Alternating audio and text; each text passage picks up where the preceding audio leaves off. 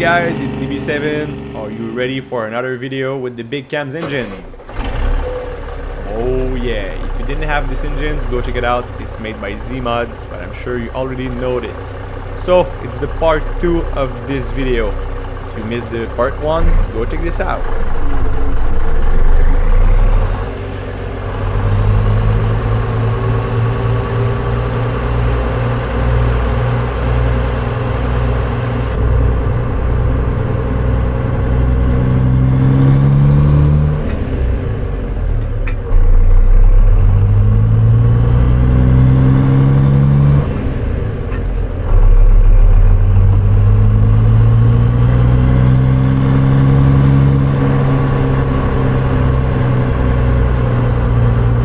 guys I've another screen with the 1440p because all my video was made on 1080p obviously it's amazing the difference. Wow. I can't wait to buy a new screen to record the video in better quality. So I made a test with my uh, screen that I have on my office. I bring it at home and I try it make a little video for you next week with the same truck, but it's another run on 1440. Let me know guys in the comment what you have as monitor and how you can run it with your setup. Do you have like 200, 300, 400 scaling and what's your setup? I want to know it.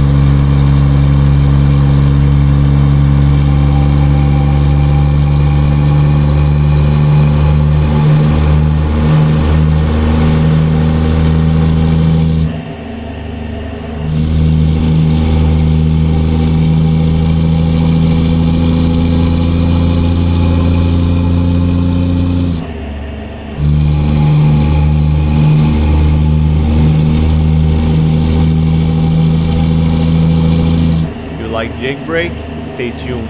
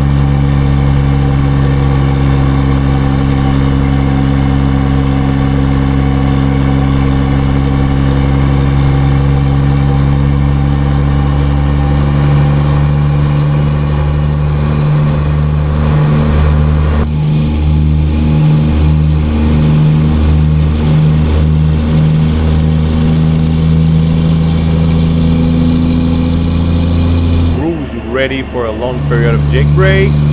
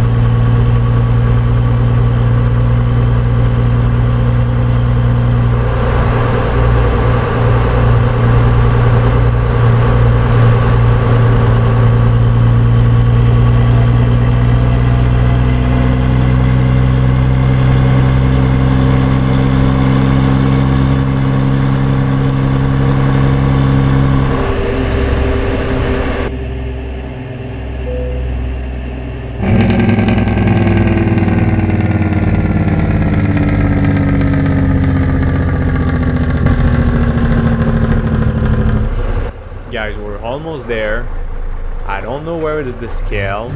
I will know it, but when I made this video, it was a Friday night and I was a bit tired. So what did I did?